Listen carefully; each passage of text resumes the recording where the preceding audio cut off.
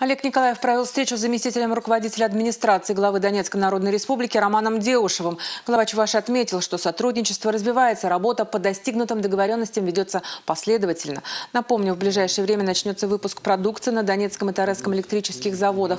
При этом части готовых комплектующих будет поставляться из города Чебоксары. Важно, что такое производство предполагает создание в ДНР порядка 100 рабочих мест.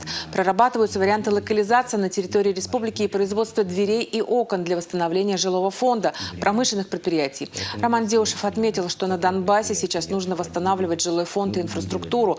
ДНР заинтересованы в взаимо- взаимодействии в сфере объемно-блочного домостроения.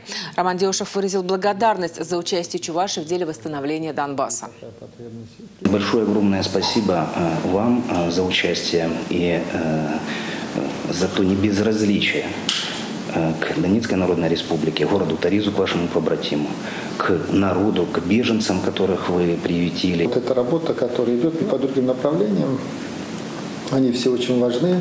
Не просто готовая необходимая продукция для Донецкой Народной Республики, для народного хозяйства, для обеспечения надежного электроснабжения жителей, но и а, рабочие места, работа двух заводов Донецкого и Тарецкого электротехнических заводов. И, несомненно, это помимо а, вот этих рабочих мест еще и уверенность в завтрашнем дне.